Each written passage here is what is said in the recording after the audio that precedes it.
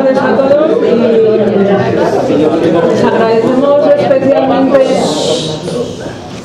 eh, presencia en un día como... Arriba hace mucho calor, me dicen la gente. Entonces, como hoy estamos menos, igual podíais bajar, es una sugerencia, porque si no luego diréis que hace mucho calor. Eh, bueno, eh, seguimos con la segunda conferencia de este ciclo dedicado a la música en el mundo antiguo y hoy nos visita Raquel Castelo Ruano con una conferencia, lo veis ahí el título, que suena la música, instrumentos y vida musical en la cultura ibérica.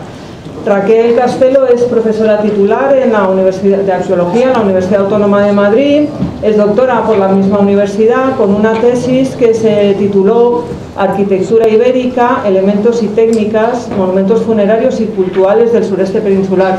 Es decir, como veréis, nos toca muy de cerca y entonces es muy buena conocedora de nuestra zona porque además ella es hija de otra arqueóloga muy conocida, Encarnación Ruano, que eh, se dedicó también al mundo ibérico y hizo una tesis en la que habla de toda la escultura ibérica y el Cerro Los Azos, como todos sabemos, pues es un yacimiento importante para, para estudiar la escultura eh, humana, que es el tema de su tesis en Pero bueno, eh, Además de eso, eh, Raquel es titulada en Museología por la Universidad Complutense de Madrid y diplomada en Ballet Clásico por el Real Conservatorio de Danza y Arte Dramático de Madrid.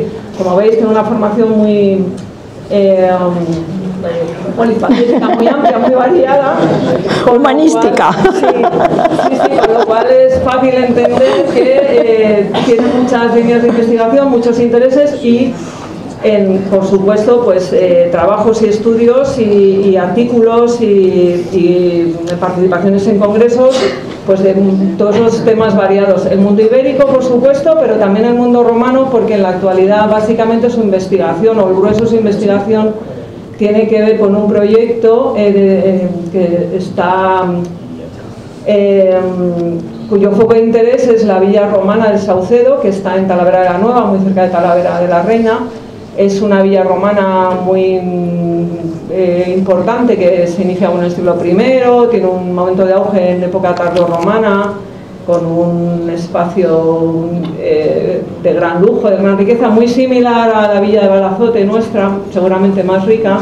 Además es una villa que tiene una perduración en época tardorromana, eh, se convierte en iglesia, bueno, llega hasta el siglo VIII, muy interesante para, para la arqueología y también en este proyecto del Saucedo pues eh, tiene numerosas publicaciones y mm, en estos momentos además en Talavera la Reina hay una exposición dedicada al territorio de Carasaróbriga, de la antigua ciudad de Talavera, donde eh, pueden observar algunas de las piezas de, la Villa del Saucedo y además me consta que Raquel ha colaborado con, con la Junta de Comunidades, con los organizadores de la exposición, y, bueno, yo les invito a todos a visitar esa exposición que está hasta julio en el Museo Ruiz de Luna de Talavera de la Reina. Pero además de eso, eh, Raquel Castelo eh, ha escrito artículos que tienen que ver con, este tema, con esta temática de hoy, como instrumentos musicales egipcios, o otro titulado Aproximación a la danza en la antigüedad hispana, aproximación a la música y la danza en los textos bíblicos o la música o varios eh, artículos dedicados a la música antigua sobre instrumentos musicales, muchos de ellos publicados en el boletín de la Asociación de Amigos de la Arqueología, de la cual es tesorera, que es una asociación veterana, más de 53 años, ¿no? Creo que tiene ya, o sea que más veterana que nosotros, a eso aspiramos a llegar a, los años de la Asociación de Amigos de la Arqueología. Y eh, que es, mm, estuvo también fundada, aparte por eh, los padres de Raquel, pues por Emeterio Cuadrado, que muchos de ustedes también conocerán su figura porque fue quien excavó en el Cigarralejo. Nosotros tuvimos una exposición hace unos años sobre su figura y sobre sus excavaciones. Es decir, que por muchas razones Raquel está muy vinculada al sureste, a nuestra tierra y bueno, simplemente es un placer eh, tenerte aquí y muchísimas gracias por acompañarnos esta tarde tan ventosa y tan dura. Y por cierto, les agradezco a todos haber venido hoy porque venir hoy al museo es muy de agradecer con el día, con, el día que está haciendo y la tarde que se queda. Así que sin más les dejo Bueno, pues yo voy a empezar Eh, exactamente igual que ha terminado eh, Blanca, y es agradeciéndole su presencia en esta tarde de, hoy. Eh, bueno, también quisiera agradecer a la profesora Isabel Rodríguez, que fue quien me invitó a formar parte de este interesantísimo ciclo de conferencias dedicado a la música en la antigüedad, un tema que, como bien ha explicado Blanca, le tengo un especial cariño, porque con él inicié mis eh, primeras investigaciones en el mundo ibérico y también en el mundo de la arqueología. Y también, como ella ha señalado, eh, ahora mi, eh, investigación sobre todo está centrada en las villas romanas, concretamente en la villa del Saucedo, que eh, acaba, bueno, hace muy pocos días eh, el gobierno de Castilla-La Mancha pues, ha dado una ayuda de 250.000 euros para poderla eh, mm, restaurar y también ponerla en valor. Y también quiero agradecer a la Asociación de Amigos del Museo que me haya acogido ¿no? en su sede, un museo que le tengo un especial cariño porque durante bastantes jornadas y, días y horas horas estuve aquí eh, bueno, pues, eh, haciendo una revisión de todo las esculturas y de las piezas, sobre todo las piezas arquitectónicas que formaban parte de los monumentos funerarios. Entonces, eh, recuerdo con el cariño que me acogió eh, Rubí y la libertad que me dio ¿no? para poder estar en los almacenes pues, eh, recopilando este material. Bueno, sin más... Eh, en, la presente conferencia, que como ven he titulado que suene la música, instrumentos y vida musical en la cultura ibérica, lo que vamos a poder observar es el rico legado musical de las sociedades protohistóricas. En mi caso, en este caso, me voy a centrar en los pueblos ibéricos que se encontraban asentados a, lo largo de la cuenca mediterránea y también en el interior eh, peninsular. Bien, eh, para, eh, para, presentar los diferentes instrumentos musicales voy a basarme en el sistema de clasificación de Sack y Horsbostel. Ellos lo que hacen es identificar los distintos eh, tipos de instrumentos en función de cómo se produce su vibración sonora. En este primer momento yo me voy a, voy a empezar por los instrumentos de viento, los denominados aerófonos, y sobre todo me voy a centrar en el aulós y diaulos, que es lo que va a ocupar el grueso de, la conferencia. Mm, aunque voy a hacer referencia a otros instrumentos musicales, lógicamente. Eh, es, eh, en primer lugar, bueno, decir que eh, el aulós o diaulos, si es un doble, como su nombre indica, eh, tiene un registro agudo. El origen eh, lo podemos remontar al eh, segundo milenio antes de Cristo y va a estar presente en Egipto. les he traído una imagen de una pintura mural de una tumba de la dinastía XVIII que está fechada entre el 1575 y 1295, donde vemos a una mujer que está tocando este instrumento musical y va a estar también presente en Mesopotamia y en las Islas Cícladas. Como muestra de su presencia en las Islas Cícladas, en la imagen que les he puesto es una escultura realizada en mármol eh, que está fechada entre el 2800 y 2300 a.C.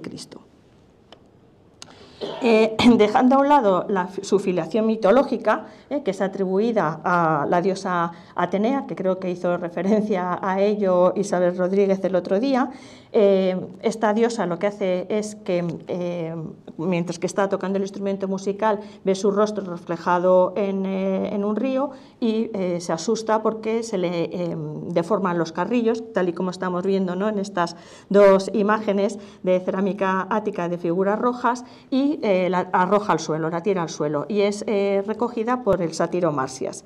Bueno, pues dejando al lado, como decía, esa afiliación eh, mítica, a la que no voy a entrar en más detalle, parece ser que este instrumento musical llegaría a Grecia a través de Asia Menor, pero no se sabe bien porque hay algunos investigadores que lo hacen proceder, como tengo recogido, de Lidia y otros investigadores lo hacen proceder de Frigia. ¿Qué elementos son los que componen el aulos o diaulos? Bueno, pues está compuesto, como ustedes están viendo en esta imagen, por una lengüeta eh, que recibe el nombre de glotai y luego esa lengüeta eh, puede ser doble. Eh, mm, si es doble, sería de tipo oboe y estaría formada, por lo tanto, por dos láminas que mm, cuando se soplan se entrechocan y producen la vibración y el sonido. O de tipo simple, que o una lengüeta simple, que sería de tipo clarinete. En este caso, es una sola lámina de caña la que cierra la vía de aire. Es bastante habitual eh, traducir este instrumento musical de aulos y diaulos como flauta o doble flauta, pero no sería eh, tal instrumento, sino tipo clarinete o tipo oboe. A continuación eh, estaría integrado por una boquilla que recibe el nombre de ceuros y un ensanchamiento que se denominaría como olmoi. Y a continuación ya tendríamos el tubo en donde estaban practicados los orificios, en número de, cinco habitualmente, eh, que eh, reciben el nombre de eh, tripemata. lo siguiente que nos tenemos que preguntar es desde cuándo estaría documentada la presencia de laulos y diaulos en la península ibérica. Bueno, pues estaría documentado a partir del segundo cuarto del siglo V y representado en la cerámica griega ática de figuras rojas que va a llegar a los diferentes establecimientos ibéricos como un producto de lujo, ¿eh? un producto de lujo que va a estar destinado tanto a las élites como a las clases dirigentes. Eh, y aparece eh, en dos tipos de escenas. En primer lugar, estas que tengo aquí recogidas, que son las escenas de simposium, donde, como vemos, el instrumento va a ser tocado por, las heteras o por las cortesanas que habitualmente aparecen representadas eh, de pie junto a los lechos de los eh, comensales o pueden aparecer también representadas sentadas en el borde de los mismos eh, lechos. En este caso, bueno, la figura grande no es, está en el Museo Arqueológico Nacional, pero no fue encontrada en Necrópolis ibérica, la eh, imagen más pequeña, sí eh, corresponde a una crátera que fue encontrada en eh, una de las tumbas de la necrópolis de Baza. Eh, ¿Qué tipo de sonidos, eh, qué, melodías eh, o qué armonías entonarían? Bueno, pues se entonarían armonías frigias, que son armonías que van muy acordes con la situación en la que en ese momento se encuentra del simposio, porque lo que producen son sensaciones impetuosas y apasionadas. El otro tipo de escenas, el otro tipo de escenas donde aparece representado el diablos en estas cerámicas áticas de figuras rojas documentadas aquí en la península son escenas dionisíacas. En el caso de las escenas dionisíacas eh, van eh, eh, tocados o están tocadas por sátiros, como los que aquí vemos representados. les digo lo mismo que en el caso anterior, están, son vasos cerámicos que están en el Museo Arqueológico Nacional, pero no proceden de los contextos arqueológicos ibéricos pero bueno, eh, son eh, representativas de ello. Y eh, mm, estos sátiros están representados formando parte del cortejo dionisiaco, integrado también por Ménades, como la que ven representadas en la imagen, que en muchas ocasiones pues, están tocando también un instrumento musical, en este caso un membranófono, que sería un tímpano o un tambor de marco y entonaría en el, ditirambo, ¿eh? que vuelve a ser una canción lírica de carácter también entusiasta con armonías frigias y por lo, y por lo tanto eh, produciría las mismas eh, sensaciones impetuosas que también por otra parte serían características de precisamente los cortejos dionisíacos. Bueno, pues estas imágenes del diablos en, en estas cráteras con escenas de simposio y con escenas dionisíacas es el primer acercamiento eh, que van a tener los íberos a los instrumentos musicales de lo que sería la tradición eh, mediterránea. Eh, una pregunta también que nos debemos de hacer es si encontramos testimonios literarios eh, que muestren el uso del aulos entre eh, los pueblos protohistóricos peninsulares. Pues la respuesta es afirmativa. Aquí les he recogido dos textos eh, de Estrabón. En uno de ellos dice, los íberos durante la bebida bailan en rueda, acompañados por flauta y corneta, o también haciendo saltos y genuflexiones. Y en el otro fragmento de Estrabón, de la geografía, dice, de modo que los íberos sacrificaban al modo griego animales y no seres vivos como los cartagineses. Recogen su sangre ritual en una crátera o recipiente y atenúan los gemidos de la víctima con los cantos de los asistentes y el sonido de la flauta. Otra pregunta que nos debemos de hacer es si se han documentado arqueológicamente estos instrumentos musicales. Pues la respuesta vuelve a ser afirmativa. Eh, y mm, les traigo aquí la imagen eh, de mayor tamaño, eh, corresponde a un fragmento de Aulós que procede del yacimiento de Azaila en Teruel. Está fechado entre los siglos IV y siglo I, se conserva en el Museo Arqueológico Nacional y ha sido dado a conocer recientemente por la profesora Raquel Jiménez, que les impartirá la próxima conferencia, en el homenaje a Paloma Cabrera. Eh, en este caso, este eh, em, fragmento de, de Aulós Em, como os decía, es similar a los griegos, es una, ahí tienen las dimensiones, es una pieza realizada en hueso y iría em, eh, complementada, complementada con anillos eh, realizados en bronce. Bueno, pues eh, se han documentado paralelos muy parecidos a, lo que se intuye en este fragmento en Diaulos de época helenística, que son los dos ejemplos que acompañan a, la imagen del fragmento de Azaila. Y em, también eh, se ha interpretado como un aulós o como un silbato este em, fragmento realizado en, hueso decorado que eh, fue eh, documentado en el, formando parte del ajuar funerario depositado en el interior de esta urna cineraria, bueno, no urna, sino de este cálazos que tenía la función cineraria del el poblado de Ibérico de Torre de la Sal. Lo que pasa es que eh, bueno, hay muchos otros investigadores que piensan que se trataría de una cuenta de collar y yo creo que más bien estamos ¿no? en, este tipo de identificación que no en un aulós o en un silbato que presente ese, orificio. Bueno, eh, lo que ah, voy a hacer a continuación es eh, presentar este instrumento musical, pero en agrupado en, distintos tipos de escenas. Entonces, el primer grupo de, escenas que les eh, presento son eh, lo que eh, yo he denominado ceremonias cívico-religiosas en las que participa la comunidad. En este caso, estamos viendo la imagen del Cálazos de San Miguel de Liria, en Valencia, que popularmente siempre ha sido conocido con el nombre de danza bastetana. Eh, se encontró en un departamento, en el departamento 12, que en concreto es un pozo ritual que forma parte eh, de un gran eh, complejo religioso. Si nos fijamos en la, en la escena, a ver, ay, perdón.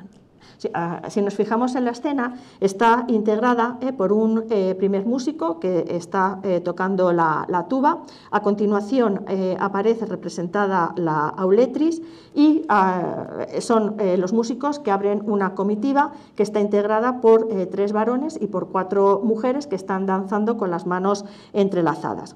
Eh, la Uletris, eh, concretamente, vemos que eh, va vestida con una túnica que le cae hasta, los, hasta los pies, está ceñida con un cinturón y sostiene el instrumento musical, como vamos a ver en todos los ejemplos, siempre delante de lo que sería su, su cuerpo, eh, y en este caso em, la cabeza eh, y el cuerpo los mantiene rectos. Luego vamos a ver otros ejemplos en los que eh, la postura a la hora de tocar el instrumento es un poquito diferente. La escena en este caso, aunque es una escena de carácter cívico-religiosa, pues fue interpretada quizá como una escena de boda. La novia sería la mujer que aparece representada con este pectoral más importante, más rico y estaría uniéndose eh, al, varón. Este tipo de, danza, de manos entrelazadas, lo tenemos documentado en otros eh, fragmentos cerámicos procedentes de San Miquel de Liria.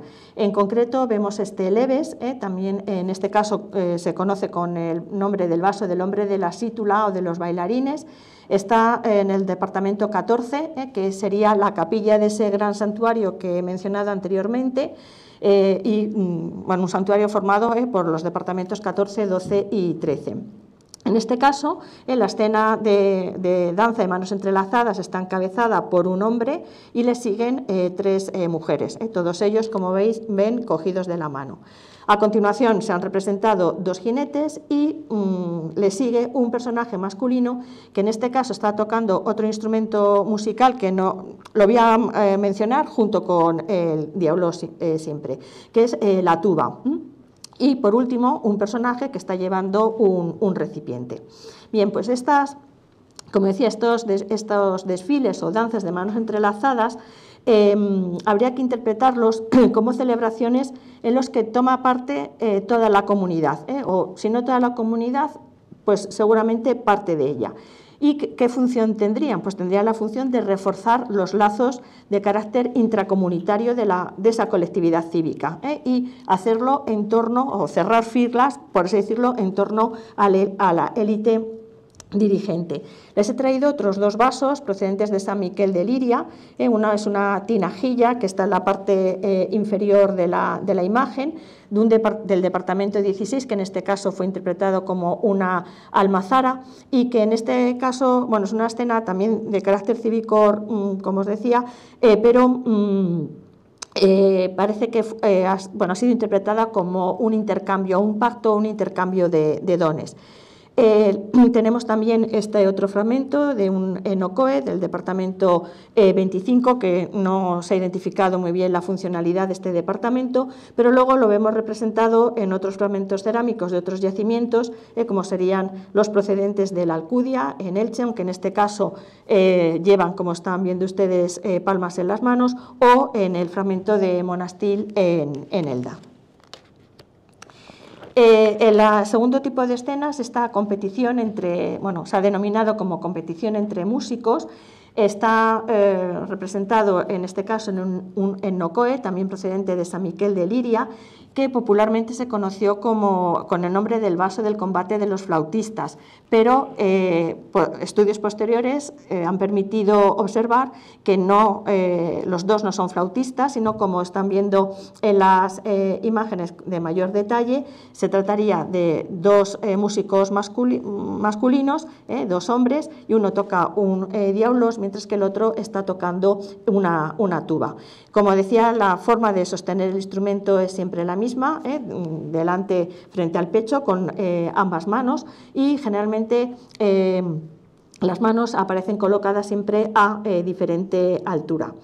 Em, con respecto a la tuba, a la que me he referido en el fragmento anterior y ahora vuelvo a mencionarla aquí, Comentar que en este caso es, otro aerófono, ¿eh? es un aerófono como están ustedes viendo muy largo y abocinado, realizado seguramente en este caso en metal y que está vinculado, está relacionado con la salpinx griega, ¿eh? que eh, la tienen ustedes ahí representada también en la imagen.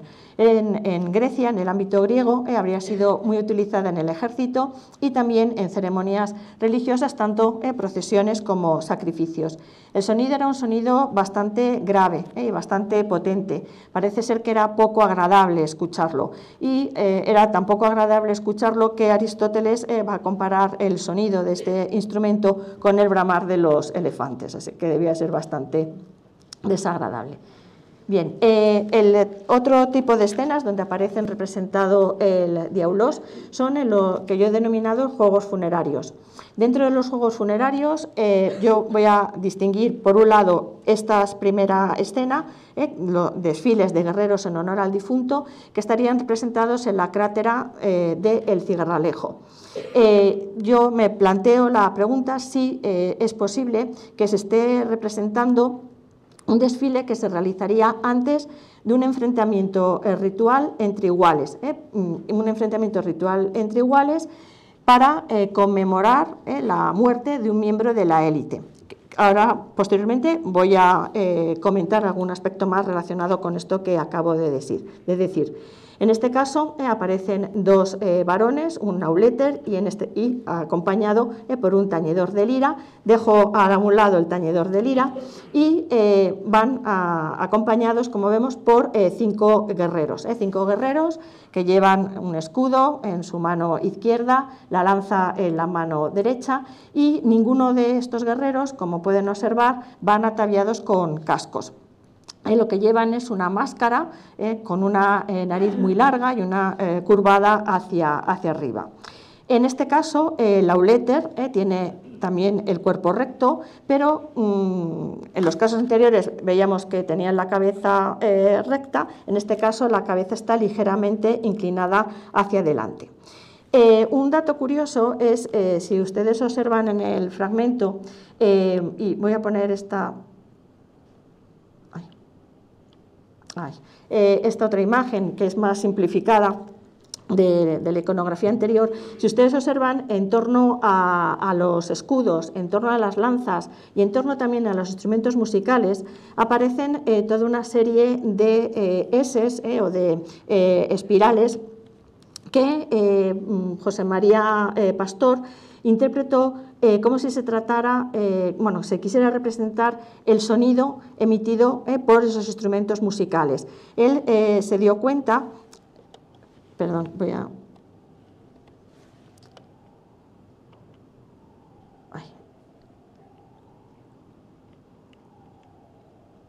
Bueno, lo dejo así. Él se, dio cuenta que en otros eh, vasos cerámicos, donde aparecían representados también instrumentistas, aparecía el mismo motivo musical. ¿eh? Eh, lo vemos reflejado en estos dos ejemplos que, os he, puesto, que una es la auletris de, aparece representada en el Pizos de la Serreta de Alcoy, la otra es una auletris eh, también de un vaso de San Miquel de Liria y el otro dibujo corresponde a la crátera de la monomaquia documentada en, en Lezuza el, hecho que esas espirales, esas S, aparezcan también en torno a los escudos, bueno, pues ha sido interpretado como que también se estaría evocando el sonido eh, que estaría emitido eh, por estos eh, guerreros y que seguramente irían acompañando, acompañando los acordes de, los músicos. Mm, ahondando un poquito más en el auleter que aparece representado en la crátera de Cigarralejo, los carrillos eh, eh, los presenta mm, hinchados eh, y se ha pensado que quizá está representado en el momento de soplar. Incluso también se ha dicho que podía llevar lo que se denomina la forbella, que sería de momento la única que estaría representada o constatada para el mundo ibérico, pero que sin embargo, si hacemos un repaso a las cerámicas griegas, eh, áticas de figuras rojas, en donde aparecen representados eh, estos músicos profesionales, es bastante frecuente encontrarla. Eh, como ven en la imagen, tanto la cerámica como la pequeña terracota que les he puesto. Eh, la forbella consiste en una eh, tela, en una banda de, realizada en tela o realizada en cuero, que atraviesa, horizontalmente el rostro, eh, cubriendo, mm, bueno, dejando la boca lógicamente al descubierto para poder encajar ahí las boquillas para poder hacer sonar el, el, instrumento y sostenida en la parte superior de la cabeza y también en la, en la parte posterior tenía una función ¿eh? o varias funciones. Por ejemplo, era evitar que los labios se pudieran resquebrajar por, por el esfuerzo del soplido. Luego también eh, es, bastante difícil eh, soplar de la misma manera ¿no? por los dos tubos y por lo tanto servía también para igualar ese envío del aire y moderar el, soplido. Y sobre todo lo que más le fastidió a la diosa Atenea, eh, que era disimular la inflamación de los carrillos y la deformación del rostro.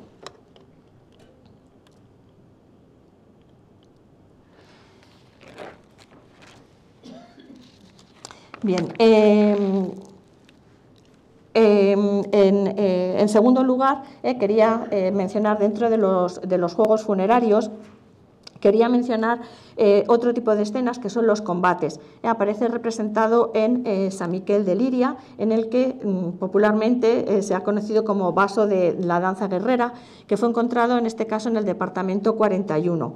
El departamento 41 en este caso es una gran casa, una gran casa que tiene una acumulación enorme de materiales votivos y eh, se ha pensado que podría, la función que tendría esta casa sería la de preservar la memoria del grupo familiar, ¿eh? y que quizá ese grupo familiar debió de corresponder a una familia principal de la comunidad cedetana. Y también eh, se ha pensado que podría haberse, mm, se podían haber realizado ceremonias colectivas de comensalidad, pero vinculadas con o teniendo un significado funerario. Eh, como he dicho, este vaso durante mucho tiempo fue interpretado, la, iconografía fue interpretada como una danza guerrera, pero quiero traer aquí a colación la interpretación que realizó el profesor Vendala, y es que se habría representado una monomaquia de guerreros acompañada por músicos bueno, y otra serie de, figuras. Mm, es que no sé qué me pasa, que no puedo... se me pasa ahora, se me pasa la diapositiva, pero bueno, con esta está bien. Es que... ¿Le das a la ruleta? Sí. Ah, vale, mejor. Gracias. Bueno, eh, como decía, lo que aparece representado es una lucha eh, de hombres de Alcurnia de un mismo pueblo o de un mismo lugar, que estarían enfrentados eh, en una competición de carácter sacrificial. Quizá, como decía, realizada con motivo de los funerales en honor a uno de sus iguales para garantizar esa vida en el, en el más allá. No, si no. Qué desastre. Perdonarme. Bueno. Sí, eh.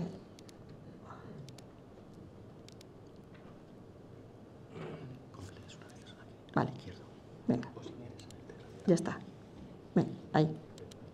Venga, pues eh, este, este tipo de escenas, este tipo de luchas, como decía, entre, entre iguales, eh, ah, lo tenemos documentado en otra eh, cerámica, que es eh, esta pieza bien conocida por todos ustedes, documentada en Lezuza, en donde una vez ah, más aparecen representados estos dos infantes en ese duelo singular y acompañados, como decíamos, por ese mm, músico que está tañendo el doblaulos. Y volvemos otra vez a la representación de las S que podían estar haciendo alusión al sonido emitido no solamente por el instrumento musical, sino también por el entrechocar de los escudos y de las eh, falcatas.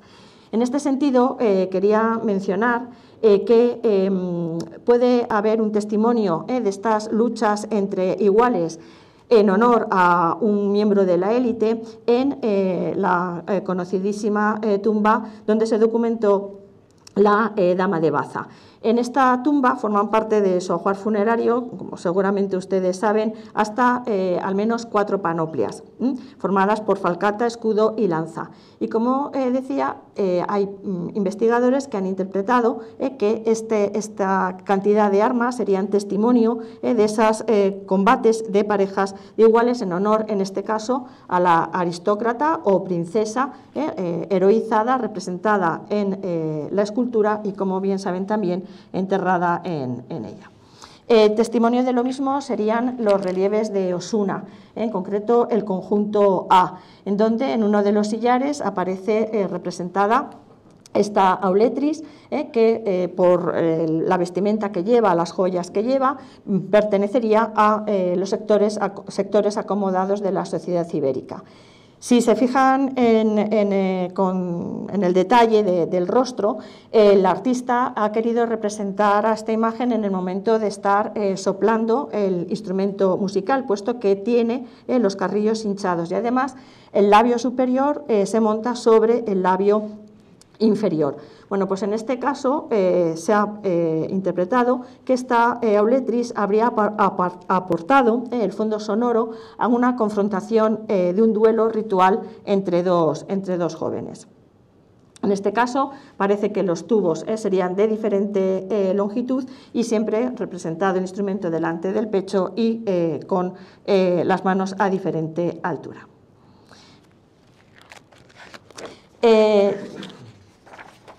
Tenemos eh, testimonios, además, eh, de eh, fuentes clásicas que, hablan de estos enfrentamientos singulares en rituales funerarios.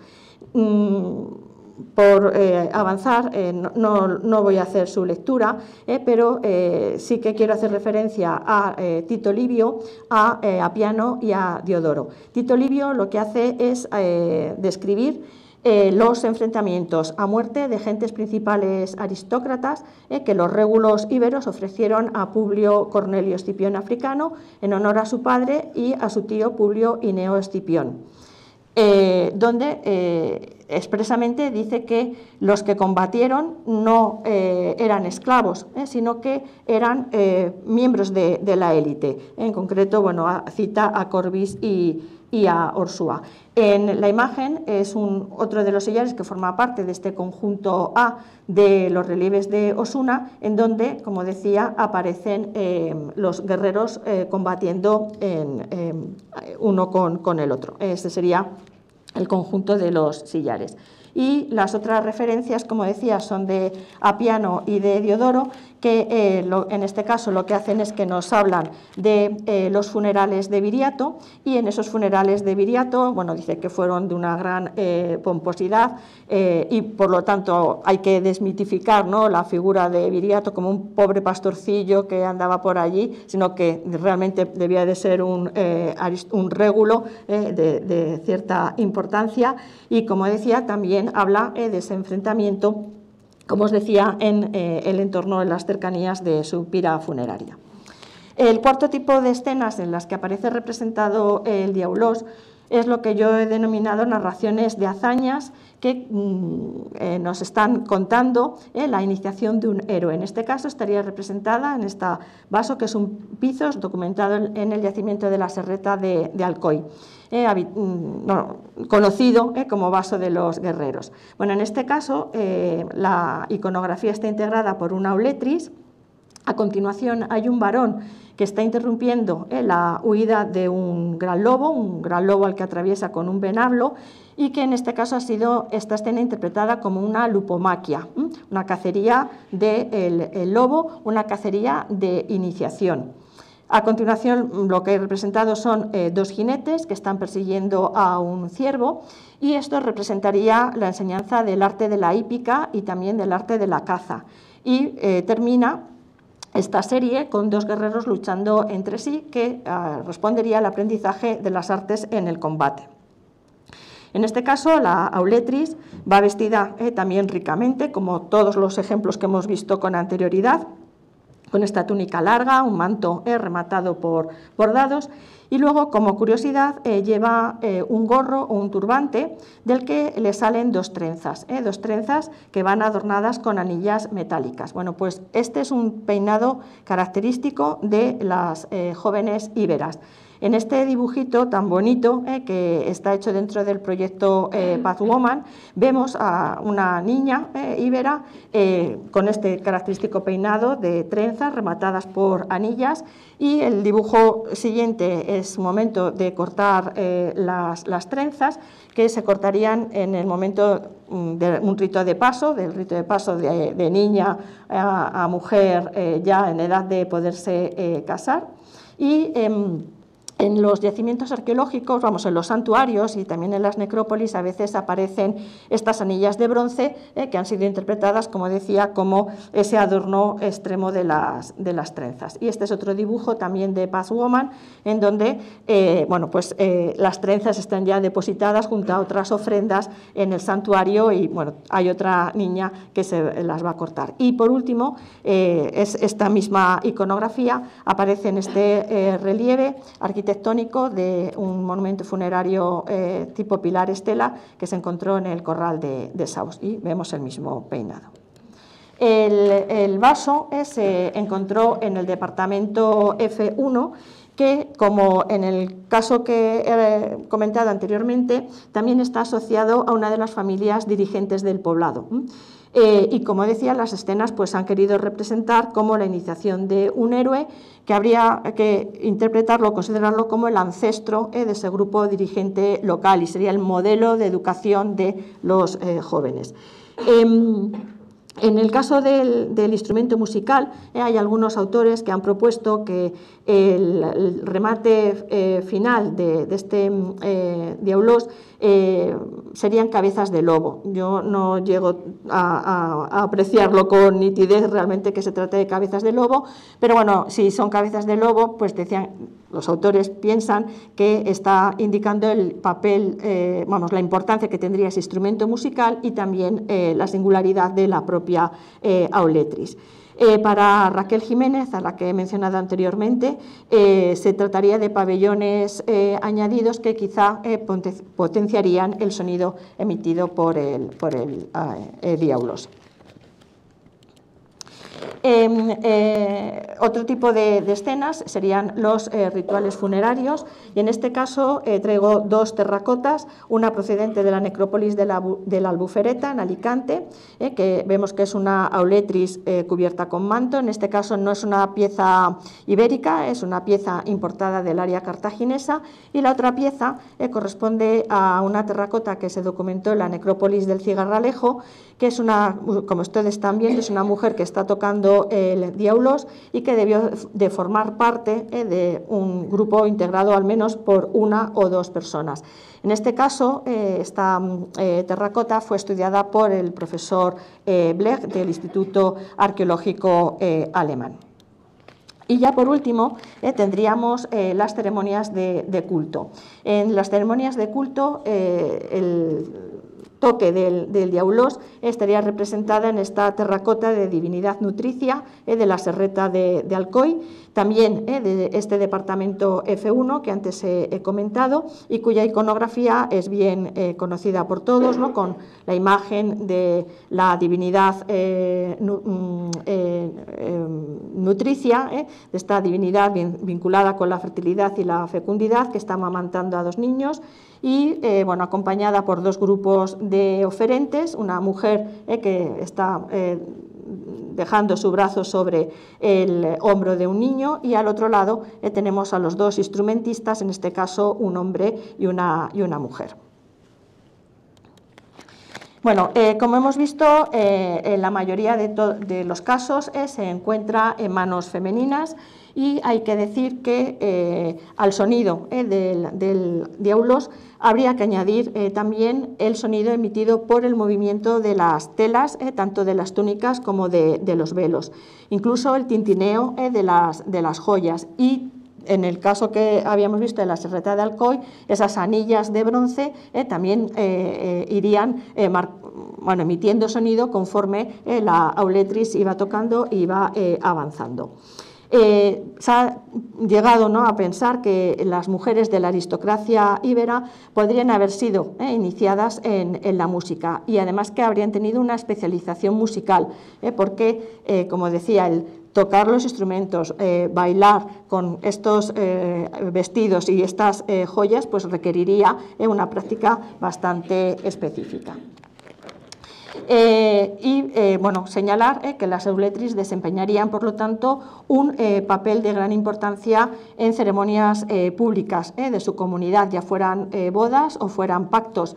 Las hemos visto que formaban parte también del ritual funerario y de las festividades que se celebraban en honor a las divinidades. Eh, por lo tanto, nadie duda ya, no solamente que las, auletrices, sino que la mujer eh, íbera pues desempeñó, tuvo un papel muy importante en el desarrollo de su vida pública y en el desarrollo eh, de lo que es la comunidad cívica y la élite dirigente.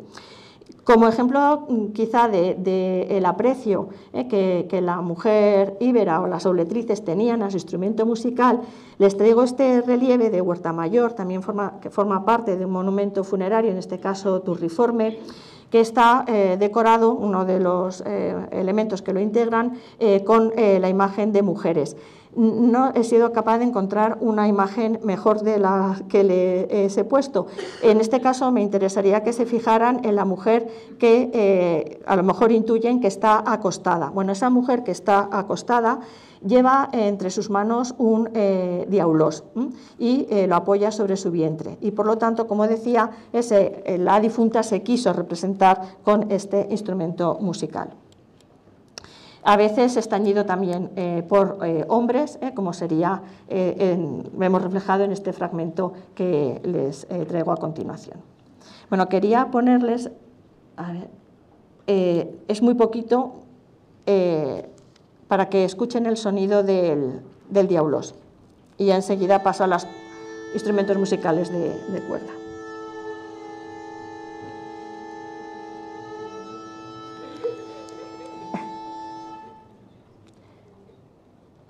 No sabemos si tocarían exactamente esto, pero bueno, ese es el sonido eh, emitido por este instrumento musical.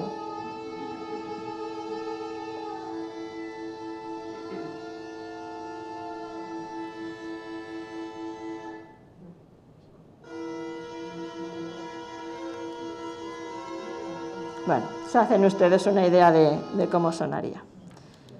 Bien, eh, mm, tengo que mencionar otros aerófonos, muy brevemente. tendríamos que mencionar los cuernos, que estarían compuestos por un tubo cónico y una boquilla.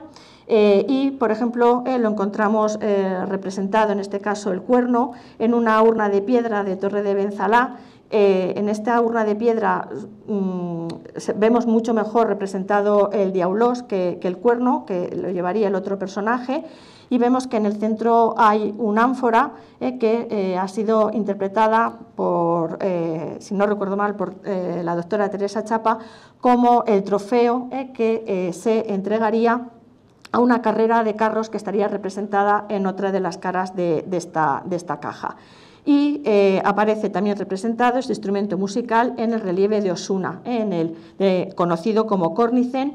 En este caso forma parte del conjunto B. ¿eh? El conjunto B es más moderno, es del siglo I que el conjunto A de la Uletris y eh, bueno, ha sido interpretado también en este caso como un herón. Si se fijan en el instrumento musical es prácticamente circular, llegaría casi a los 300 grados de circunferencia y el tubo eh, va aumentando eh, de tamaño conforme nos vamos a, llegando, va llegando a eh, la parte distal. Como es un instrumento de grandes dimensiones, sería difícil sostenerlo y por lo tanto, como ven, lo que se hace es que se coloca una barra central, como os decía, para facilitar la sujeción y también mantener la estabilidad del mismo. Es un instrumento que fue eh, muy utilizado en el mundo etrusco y que posteriormente fue adoptado por los, por los romanos. En este caso, este instrumento musical eh, va acompañando una serie de relieves con demostraciones acrobáticas, como la que os he, eh, puesto en imagen, y también escenas de, luchas. En este caso, bueno, pues parece ser que estarían rememorando eh, aquellas batallas en las que habría participado el héroe fundador de una, de una estirpe que estaría allí enterrada. Y eh, también eh, aparece representado el cuerno en este fragmento de Cálazos del poblado de Castelillo de Ayoza, en Teruel. Eh, mm, bueno, es una escena que, está es una iconografía dividida en dos partes. una zona, una primera zona donde hay un personaje sentado y una serie de guerreros que van acompañados por este instrumentista y luego bueno, una escena de un combate también singular aquí podemos plantearnos, ¿se trata de un enfrentamiento bélico? ¿Volvemos a estar ante un duelo heroico celebrado al son de la música en el contexto de los juegos funerarios? Pues no sé decirles. Y como eh, hallazgo de este instrumento musical, tendríamos que mencionar este pequeño cuerno, es de pequeño tamaño, eh, de San Miquel de, de Liria, está hecho en asta de ciervo, y eh, es, como decías, de muy pequeño tamaño y por lo tanto parece ser eh, que el sonido sería poco intenso. Incluso bueno, se ha pensado eh, que podría corresponder a un instrumento de un niño que estaría aprendiendo su, su, toque, pero bueno, ya esto es mucha aventura. Y eh, por último, eh, de aerófonos, quería mencionar las trompetas cerámicas de tipo numantino, como la que se ha encontrado en el Castelillo de Ayoza. No me entretengo porque em, la próxima conferenciante es una gran experta en este tipo de instrumento musical y también eh, se habrían documentado en el mundo ibérico algunas flautas, como por ejemplo estos fragmentos que pongo de San Miquel de Vinagre, de Vinabre perdón, en Tarragona. Pasaríamos a los cordófonos, mucho más breve eh, que, el, que. Eh, los cordófonos incluyen, como tienen ahí recogida, una varias, o varias cuerdas eh, tensadas que se ponen en vibración al ser punteadas, golpeadas o al ser frotadas, y también dejando a un lado su filiación mitológica, que en este caso se atribuye al dios Hermes, eh, que mm, se lo, al final se lo da al dios Apolo eh, eh, a, cambio del cuidado del ganado de vacas, bueno, pues dejando aparte esa tradición mitológica, las liras son conocidas en las Islas Cícladas y van a confirmar esa influencia musical de Mesopotamia y Egipto en la civilización cicládica. Como muestra de ello, les he traído también esta escultura realizada en eh, mármol eh, que representaría a un tocador de, lira. y van a estar presentes en el mundo minoico y en el mundo micénico. Les he traído varios ejemplos eh, de estas civilizaciones. Les he traído el instrumento musical que aparece en el sarcófago de Agia Tríada, eh, el que aparece representado en este grupo de terracota, en donde aparecen unas mujeres con las manos entrelazadas en torno a una mujer que está tocando una lira. He traído también una eh, lira realizada en marfil eh, que procede de la necrópolis micénica de Menidi en el, en el Ática y un fragmento de un fresco documentado en el Salón del Trono del Palacio de Pilos. En este caso, estos, estos ejemplos del mundo minoico micénico son entre el siglo XIV y el siglo, y el siglo XII. Eh, los elementos que componen eh, la lira clásica eh, estaría la caja de resonancia, como están ustedes viendo, que se realizaba con un caparazón de tortuga, que podía ser adquirido en la India o también en la región del Peloponeso, dos brazos que pueden estar realizados en madera o en cuerno de cabra salvaje, el travesaño y luego las cuerdas que como ven tienen la misma longitud, eh, diferente, tendrían diferente grosor y estarían realizadas en tripa eh, retorcida. Y el número de cuerdas puede oscila eh, según el momento cronológico en el que nos encontremos. ¿Cómo se tañía la lira? Pues la lira se podía tañir de varias maneras. se puede tañir de pie, y si el músico lleva el instrumento de pie, lo sostiene ligeramente inclinado hacia adelante. Eh, para que no se cayera por el peso del instrumento musical, lo que se hacía es que eh, eh, se unía el instrumento musical con una banda al cuerpo del, tañedor, del músico. Se podía tañir sentado, como estamos viendo en los otros dos recipientes que, tienen en, pantalla, y también igual, ligeramente inclinado hacia adelante y ya es más raro, eh, pero también aparecen algunas iconografías que ese instrumento se pueda eh, tañir eh, tumbado. Eh, para tocar el instrumento se, podía, eh, se podían puntear las cuerdas con los dedos, pero en el mundo griego eh, generalmente aparece punteado con un elemento que se denomina plecto, y es el que llevan, sujetan en la mano las figuras que aparecen representadas en estos vasos cerámicos. Ese, ese plecto también estaba atado al, instrumento y, como, como decía, lo sostenía el músico con su mano derecha, mientras que con la izquierda iba amortiguando el sonido de las, de las cuerdas. Es un instrumento eh, musical por excelencia en la educación de la juventud aristocrática. Es un aprendizaje que fue defendido por Platón y por Aristóteles. En estos vasos también eh, griegos de cerámicas rojas eh, vemos escenas de educación, donde los jóvenes están aprendiendo a tocar la lira. Eh, los, eh, tanto Platón como Aristóteles rechazaron eh, el aprendizaje del, del, porque ya hemos visto que los sonidos que se emitían representaban ese lado dionisiaco, ¿no? de la embriaguez y, de, y del éxtasis, y en cambio la lira era representante de esa moderación y del control y del equilibrio, del equilibrio mental. Estos dos autores van a rechazar además también dentro de lo que es la familia de las liras eh, instrumentos musicales de cuerda de mayor número que, los que presenta la lira clásica, como serían el caso de la quítara y de la barbiton, eh, que están representados en estas, en estas cerámicas. Para la península ibérica tenemos poquísimos ejemplos eh, de representaciones de este cordófono. les traigo estos dos ejemplos de terracotas, eh, por lo tanto, eh, atestiguaríamos la presencia eh, de este instrumento musical en los rituales funerarios. Esta es una, la imagen de mayor tamaño corresponde a una terracota que se encontró en la necrópolis ibérica del Cabecico del Tesoro y vemos que es una mujer que está, en este caso, tocando la cítara, no la lira clásica. La cítara forma parte de esa familia de las, de las liras la caja de resonancia es una caja de resonancia elíptica y como decíamos eh, está tañendo las cuerdas con la mano derecha y la mano izquierda la tiene por detrás del instrumento musical para amortiguar, como decía, el, sonido. Los eh, paralelos eh, de esta terracota los encontramos en la necrópolis de Cartago, que es la imagen que les he colocado en la parte superior. Y el otro, otro Otro ejemplo de representación, en este caso sí parece ser de lira clásica, sería este fragmento de terracota de la necrópolis del Cigarralejo, eh, que les comenté que había sido también identificada como tal por el doctor eh, Blech. Y eh, vemos, lo que estamos viendo es la parte superior de una lira, vemos los extremos finales de lo que serían los brazos y el travesaño. Y bueno, el profesor Bleck eh, piensa que eh, sería llevada por una mujer en su brazo izquierdo. La cronología es del siglo IV, eh, siglo, siglo III. Y estaría también presente el uso de, la lira en, los juegos funerarios. Vuelvo a poner nuevamente esta crátera del cigarralejo.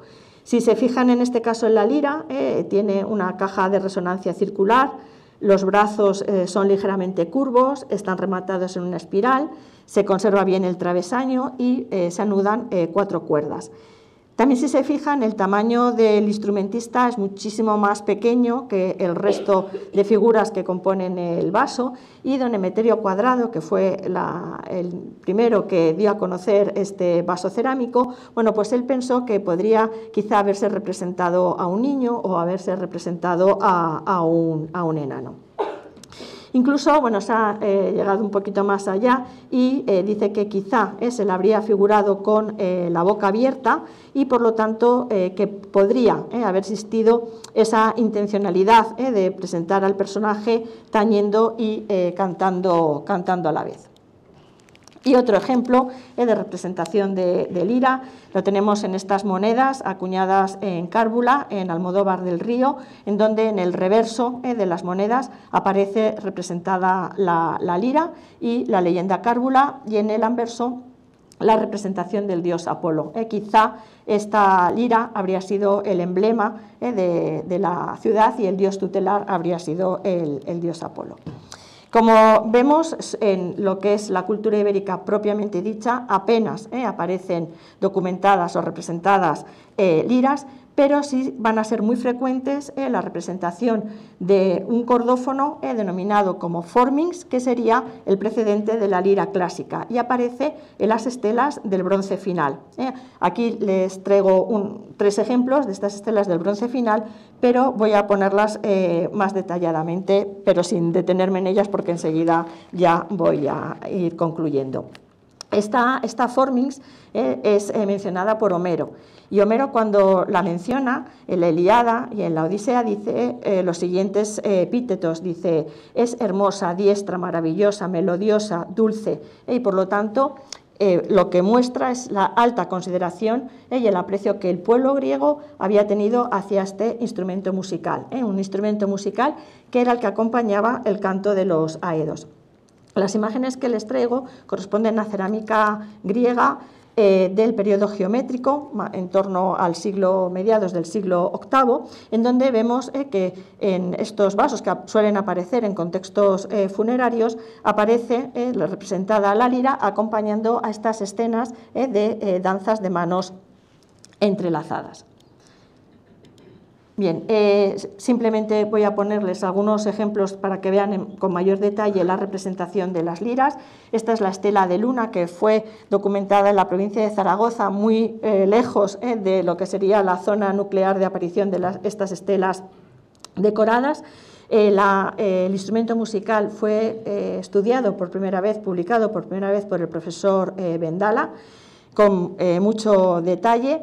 Eh, es quizá la, no es quizá, es la representación del IRA mm, con más detalle que aparece representada en las estelas del suroeste, hasta tal punto que eh, a través de la arqueología em, em, esto experimental, pues se, han hecho reconstrucciones de cómo podía ser este, esta lira representada en la estela de luna y también muy brevemente les voy a poner eh, por qué se han hecho eh, con la réplica, eh, se ha tocado y por lo menos se, podemos escuchar cómo sería el sonido.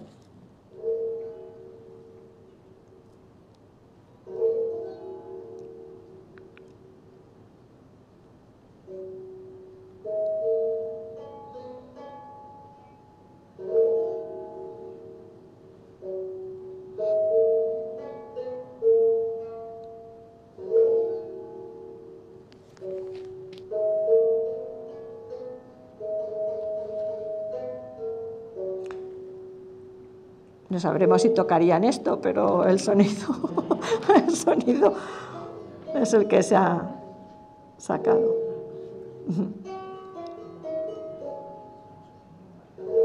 Bueno, bueno eh, otros ejemplos de estelas eh, donde aparece representado el instrumento musical tendríamos la estela de los llanos, eh, la estela de Higuera la Real, eh, la estela de Quinterías. En este caso me detengo un poquito más porque, eh, si se fijan ustedes, la lira está muy próxima a eh, la representación del guerrero, parece que está cogiendo, sosteniendo la, lira.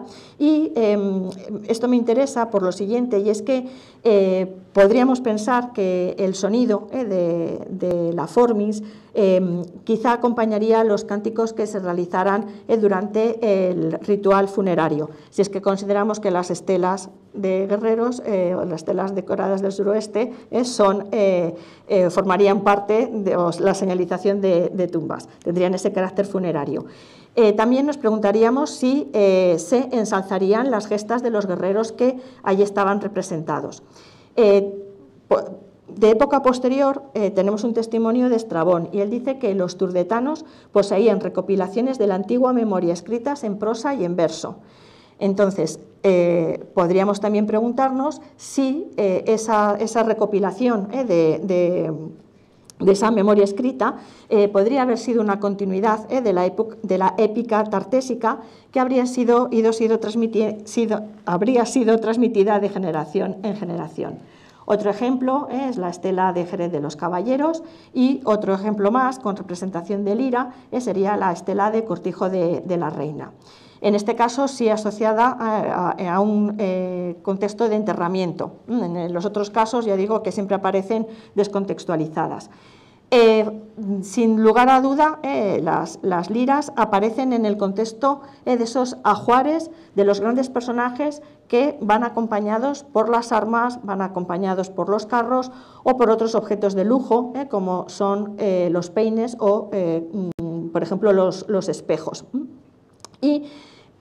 Yo me pregunto que si serían, eh, representarían el dominio eh, de la composición poética y de la música por parte de, la élite. Eh, esto me, da pie mm, a hablar de este vaso, eh, de, donde aparecen representados Tetis y las Nereidas, que están llorando la muerte de Aquiles, donde vemos que una de estas mujeres está sosteniendo una, lira, una de, las mujeres que asisten a una escena de exposición del cadáver, eh, del cadáver de, Aquiles, una escena de, de prócesis, y eh, mm, nos está indicando que Aquiles habría sido enterrado con este instrumento musical, con, la, con la lira. Sabemos a través de la Eliada que el centauro Quirón eh, adiestró a Aquiles en el manejo de las armas, en el arte de la elocuencia y también en la música. Eh, eh, he acompañado esta imagen con un lequito ático de figuras negras donde aparece representado Peleo, el padre de, Aquiles, aparece Aquiles niño y aparece el centauro Quirón. Es una escena en la que le está adiestrando en, en la caza y la imagen de abajo eh, es un fresco procedente de Herculano donde aparece representado Quirón precisamente enseñando a Aquiles el manejo de la lira. Lógicamente, eh, el, ejemplo eh, de, educación aristocrática está basado en la educación que habían tenido los, héroes y mm, también en este sentido quería mencionar esta, necrópolis de Metaponto, en donde eh, las élites dirigentes eh, se enterraron junto con sus liras. No se ve muy bien, pero eh, sobre una de las piernas del personaje que está aquí enterrado se ha documentado un caparazón de tortuga. Entonces, como decía, el, modo de educar a, a los héroes es modelo de educación de las élites dirigentes ya voy a terminar. Eh, con respecto a los idiófonos, eh, no tenemos constatado para la cultura ibérica la presencia, perdón, ni de eh, los istros, ni los címbalos, ni tampoco la presencia de los crótalos. Es solo de idiófonos tendríamos representados cascabeles, como estos que aparecen en Racó de San Miquel, en Gerona, perdón, me quedo sin voz, y las campanillas. ¿eh? las campanillas Aparecen en, contextos arqueológicos y aparecen representadas, como vemos en estas imágenes, formando parte eh, de los aderezos y de los atalajes de los, de los caballos. y eh, para la península ibérica, perdón, para la cultura ibérica, tampoco tenemos documentados membranófonos. Sí que están presentes, sin embargo, en em, los ámbitos fenicio-púnicos de la isla de Ibiza. En este caso eh, se trata de los denominados tambores de marco, eh, que estarían realizados, como su nombre indica, por un marco de madera y una o dos membranas. Estos instrumentos que aparecen figurados eh, formando parte de estas terracotas fueron estudiados por López Bertrán y García Ventura. Ellas distinguieron dos grupos. Por un lado, distinguieron representaciones de instrumentos de estos tambores de marco de pequeño tamaño, que como ven están sostenidos delante del cuerpo con las dos manos y lo que se preguntan es si están en posición de toque o eh, pueden eh, estar eh, siendo presentados como ofrenda para introducirlos en el interior de las tumbas. Este es un dibujo también cogido de uno de los calendarios de, este grupo de investigación de Patch Woman, en donde vemos representada esta manera de coger el instrumento musical. Y em, eh, en la misma, perdón, las, no he dicho, las terracotas son procedentes de la necrópolis de Puig del Molins. En este caso, eh, no solamente proceden de la necrópolis de Puig del Molins, sino también del santuario de eh. En este caso, el instrumento, como ven, está sostenido junto al cuerpo, es de mayor tamaño, y está sostenido por la mano izquierda y está siendo tañido por, vamos, percutido por la mano derecha. También la posición de, una de las piernas eh, ligeramente flexionada pues ha eh, hecho pensar que a la vez, a, la vez que tocaban el, tambor de marco estarían también eh, danzando. Em, voy a ponerles eh, también eh, esta otra imagen de una escena de santuario, también eh, del mismo grupo de investigación de Patch Woman y también recogido en uno de los calendarios. Y bueno, el caso es que em, en, en, el caso de este instrumento musical siempre aparece en manos femeninas y como el resto de instrumentos musicales parece que son mujeres que debían de pertenecer o que debían de tener un alto rango. No me quiero ir de la isla de Ibiza sin mencionar que aquí también eh, fueron documentadas terracotas mm, de mujeres que están eh, eh, instrumentando el diablos, aunque también aparece en manos de, de sátiros. Bueno, hemos podido observar cómo la música acompañada de la danza pues fue una manifestación artística que tuvo una gran importancia en las sociedades del pasado, pues fue transmisora de valores culturales, sociales y religiosos. La música es uno de los vehículos más importantes para expresar emociones. Nunca olvidemos poner música en nuestras vidas, pues con música hemos bailado, reído, llorado, recordado, besado, amado, en definitiva, con música hemos vivido. Y muchísimas gracias por su atención.